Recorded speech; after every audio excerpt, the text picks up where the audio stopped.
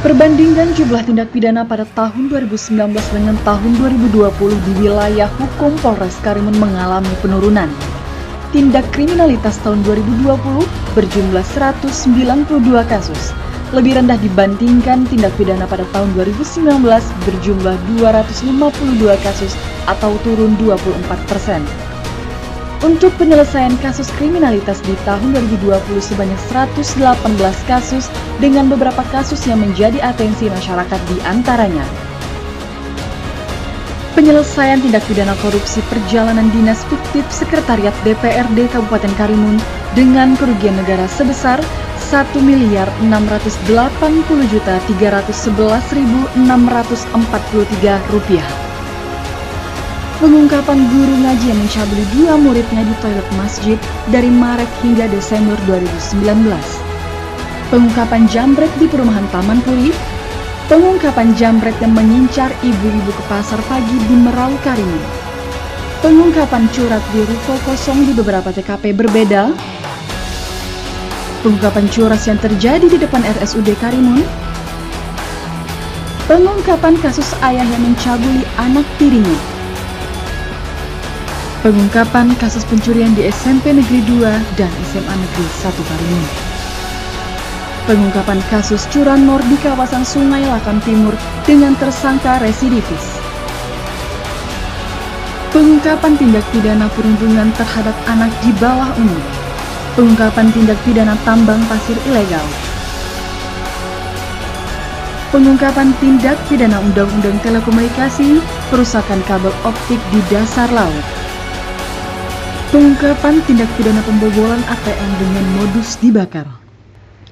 Sedangkan untuk tindak pidana narkoba, barang bukti yang berhasil disita seperti ganja, pil ekstasi, happy five, K, dan sabu, di tahun 2020 narkoba jenis sabu mengalami kenaikan signifikan dibandingkan tahun 2019. Dari kuantitas barang bukti sabu yang disita di tahun 2019 sejumlah 1.627,40 gram dan di tahun 2020 barang bukti sabu naik menjadi 8.640,26 gram. Sepanjang tahun 2020, Polres Karimun telah berhasil melaksanakan kegiatan operasi terpusat yang telah menjadi agenda nasional di antaranya.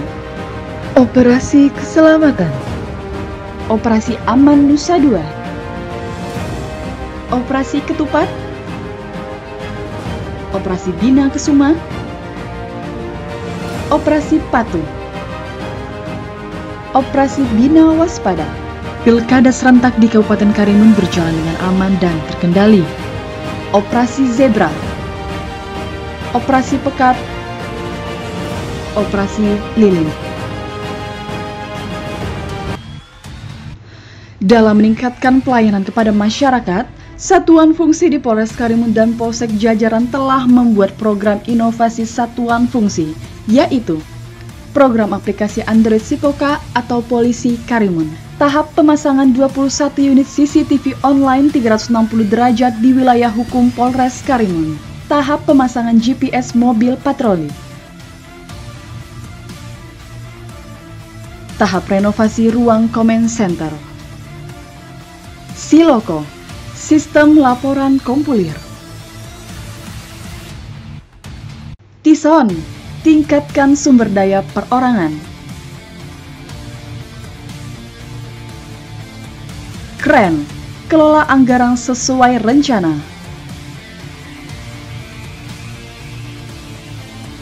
Tegar, tekan pelanggaran anggota. Ligat, lidik galang tokoh. Tim Bison, bersih integritas setia optimis netral. Tim Panther. Tekad, temu masyarakat. Tim Red Eagle.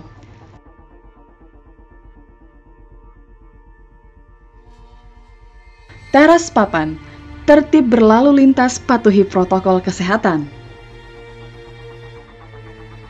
Poda Silau, Pol Air cerdaskan anak pesisir dan pulau.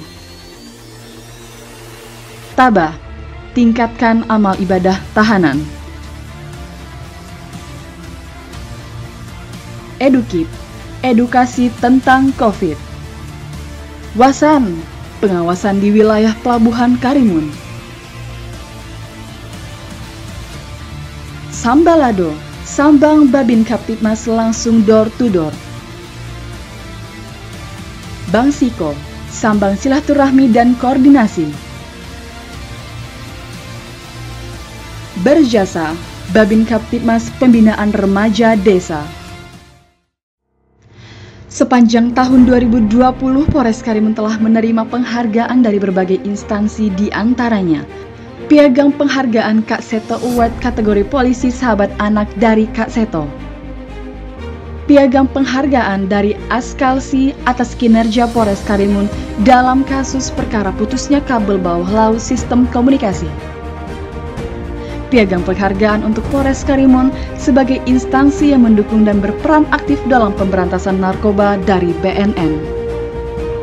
Penghargaan Tropi Polis Award 2020 kepada Kapolres Karimun terkait pengungkapan kasus narkoba daerah perbatasan.